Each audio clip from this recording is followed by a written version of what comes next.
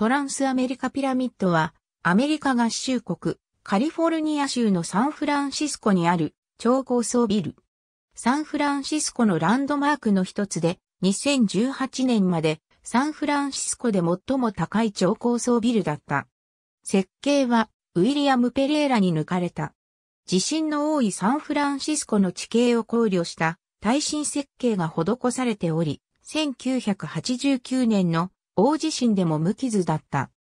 1999年、トランスアメリカコーポレーションは、オランダの巨大保険会社、エーゴンに買収され、参加となった。27階にある展望台は、アメリカ同時多発テロ事件以後、閉鎖された。ありがとうございます。